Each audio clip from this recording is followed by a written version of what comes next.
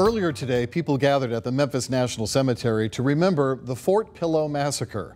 They laid wreaths honoring the more than 200 graves representing the lives lost at Fort Pillow.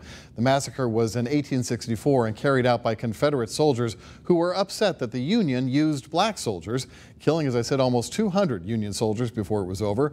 Organizers say it's important for us to remember parts of our history that we've been largely ignoring for decades. It means a lot to me because we're teaching people our history, African American history, that we did have people actually in the Memphis area that participated in the Civil War. The ceremony was held just in time for Juneteenth, which of course is this Sunday.